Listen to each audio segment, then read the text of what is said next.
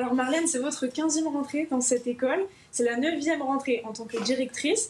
Comment vous sentez-vous ce matin? Alors c'est une rentrée euh, relativement sereine puisque, comme vous l'indiquez, euh, ça fait 9 ans que je suis directrice. Et puis euh, dans l'équipe, nous sommes une équipe. Tu peux monter un peu le retour? Nous avons pu nous réunir au mois de juillet justement pour définir les, le thème de l'année et les différents projets que l'on va mener au cours de cette année.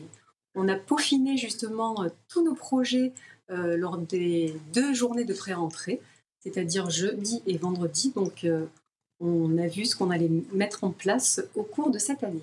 Super, alors vous êtes enseignante dans cette école, mais aujourd'hui vous avez votre casquette de directrice, alors à quoi va ressembler votre journée? Alors, euh, lorsque je suis directrice, je gère toute la partie administrative. Donc, aujourd'hui, je serai dans mon bureau et je veillerai justement au bon fonctionnement de l'école. Super. Alors Simon, ce qu'il faut savoir sur cette école, sur les Bourdinières, c'est qu'il y a deux spécificités. Tout d'abord, c'est une école avec la spécificité Émile et c'est une école E3D. Et justement, qu'est-ce que ça veut dire tout ça, Marlène?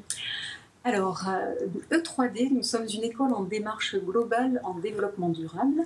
Donc, euh, nous sensibilisons les élèves à la préservation de l'environnement. On leur demande de respecter l'environnement. Et puis, donc, une école émique, ça veut dire qu'on enseigne certaines matières en langue étrangère. Donc, dans l'école, nous avons choisi l'anglais et l'espagnol.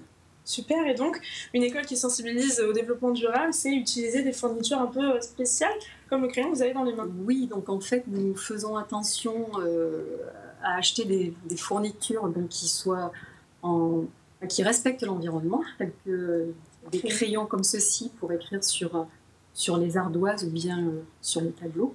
Et puis, euh, donc, nous essayons de, de ne pas on trie, voilà, on trie les déchets. Euh, voilà, on, essaie en tout cas de sensibiliser les enfants à la préservation de l'environnement.